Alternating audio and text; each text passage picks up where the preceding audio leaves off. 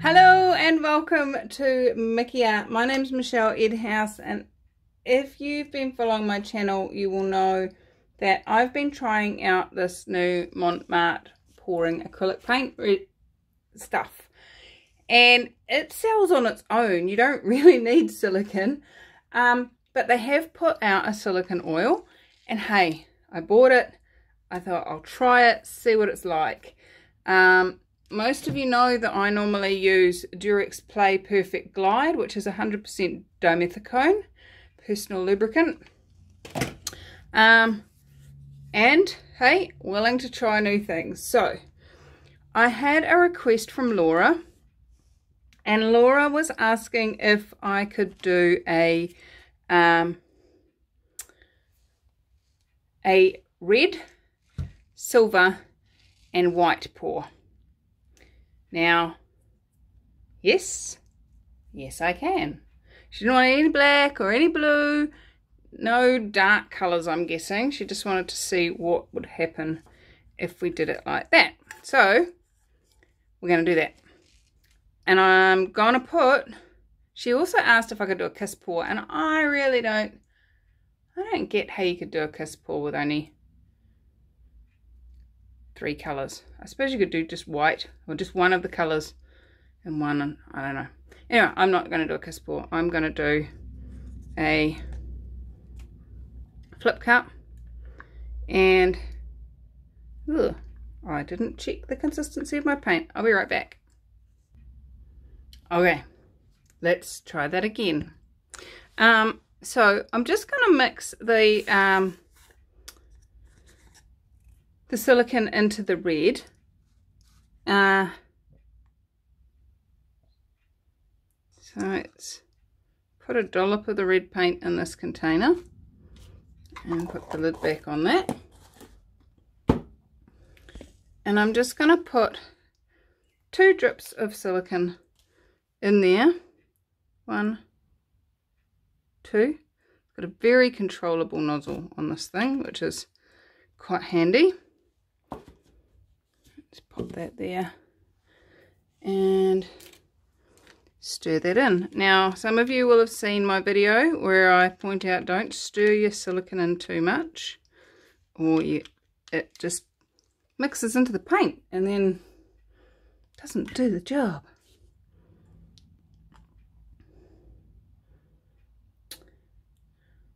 I was going to do a pour, but I think I might do a flip cut with this because if it Hmm.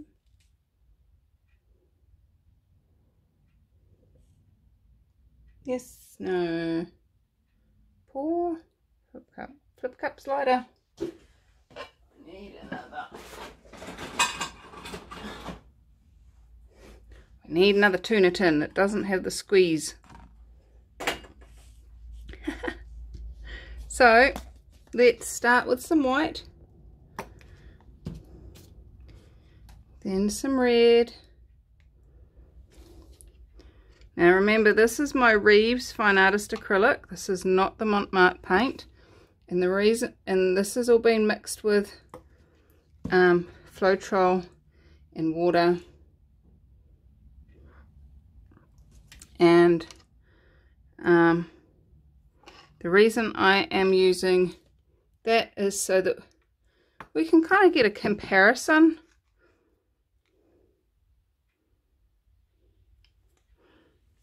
as to if I did it in the Mont Marte paint, you can't tell what's what cells are created by the paint and what's created by the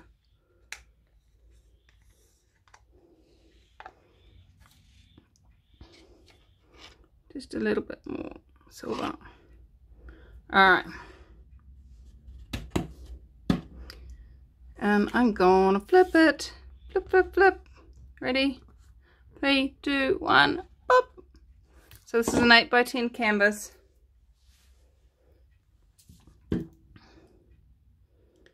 Let's see.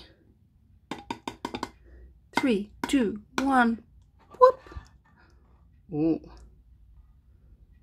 Ooh, that's pretty. I know it's pink, but it's pretty. I've always been drawn to this crimson red and I wonder whether I've been lying to myself all these years. At that in the bottom.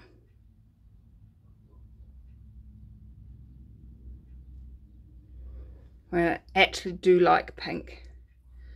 Well, we're definitely getting silicon cells showing up without doing anything, which is a good sign. Let's just scrape out this pot. And just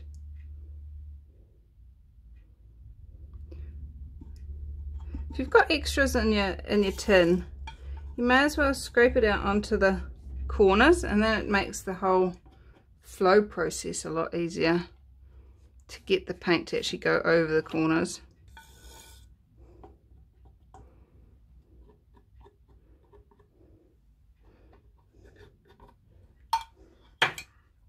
Okay, so let's quite a bit of air bubbly type popping. You can tell the difference between air bubble pops and silicon rising because the silicon ones keep growing and the air bubbles just will sit there going hi. See look at all this. Remember we only put silicon in the red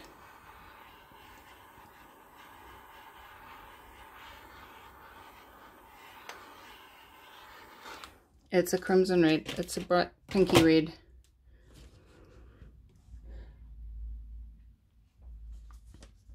Well, we've definitely got cells. What do you reckon?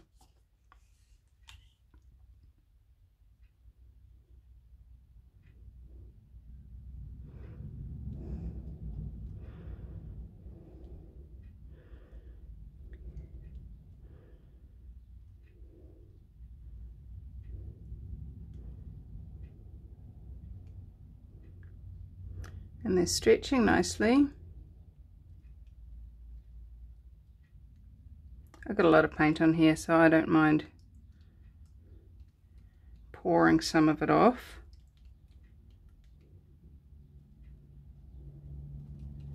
I'm going to lose some of those cells.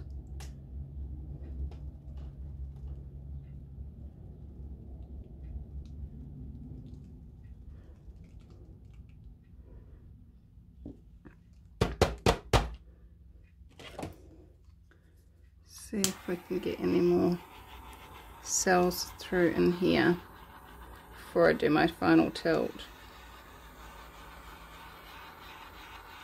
This silver seems to hold air bubbles like it's going out of fashion.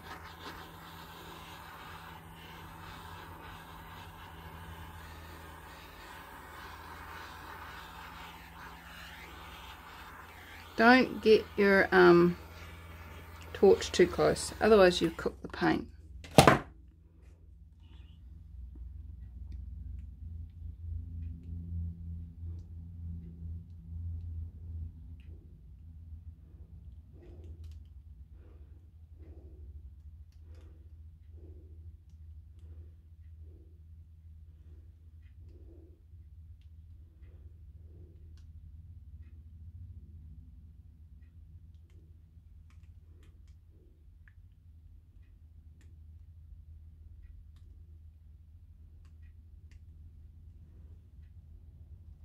Well, I'm quite pleased with that.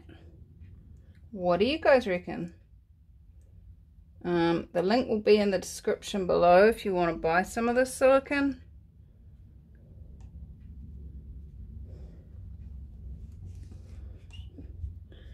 Definitely seems to do the job.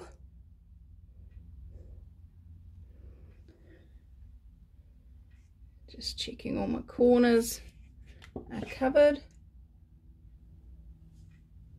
Yep. Got some pretty vibrant stuff down here, so we might do some dipping. But let me get you down and show you what we've got.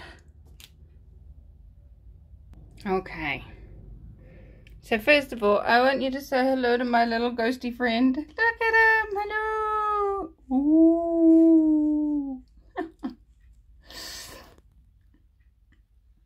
So we've definitely got some cells happening in here.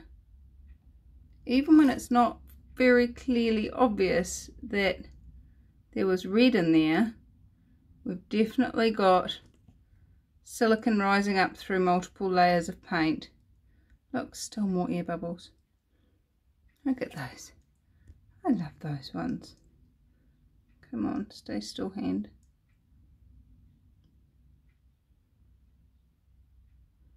They're cool.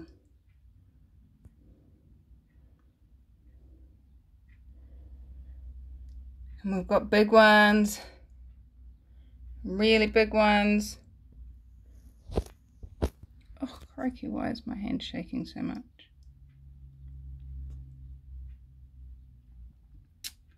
I like that. That's funky. Looks like a pink egg. Now, when I got close with the um, with the torch, I got these little clusters, and um, there's another artist on face uh, on YouTube who I think her name is Gilly, and she calls them Gilly clusters. I think her granddaughter named them that which I think is really cool. Might be Jilly. I'm pretty sure it's a G.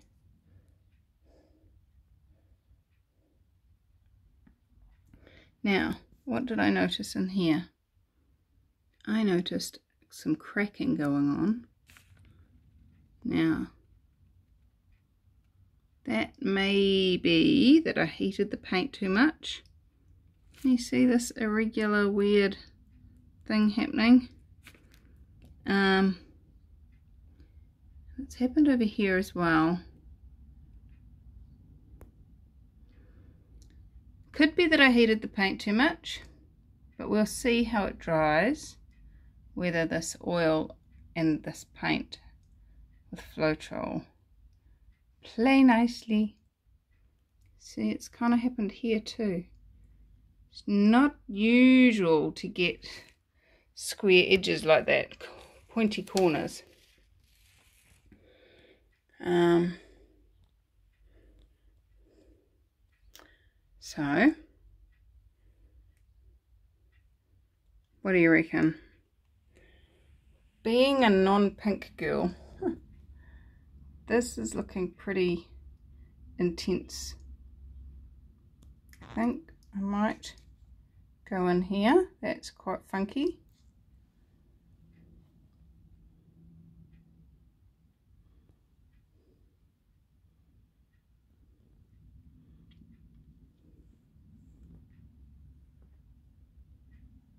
I'm not so sure about the rest of it. Let's move this out of the way. Let's see what's happening on the other side. See you on the other side. Looks candy cane-ish.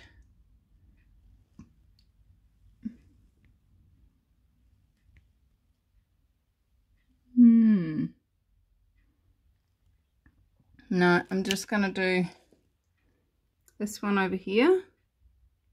But I need two hands for that. So, I'll be right back. Okay. So, for those of you that haven't seen me do this before, I have my glass cabochon, flat side out, rounded side to the Blu Tack on a stick, just so I can hold it and keep my fingers out the way. And if you haven't seen me do this before and you're looking for links, there's a link to both a video describing what I do with them once I've dipped them and dried them, um, as well as where to find them on Amazon. And you just dip it in the paint like that. Grab it by the edges. And admire your handiwork.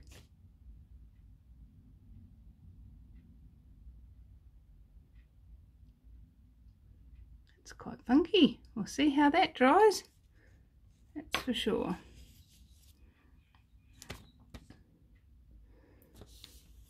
Alright, so is there anything else that's screaming at me? Michelle, pick me. No, not really. Okay guys, I'm going to let all of that dry and come back to you to show you the dry result in three, two, one. All right, so it's dried and it, yes, it went very pink. Very, very pink. But hey, you know, that's what happens when you use crimson and mix it with white. So there we go. My uh, request from a comment on one of the other videos. Um, silver is silver. The red is pink.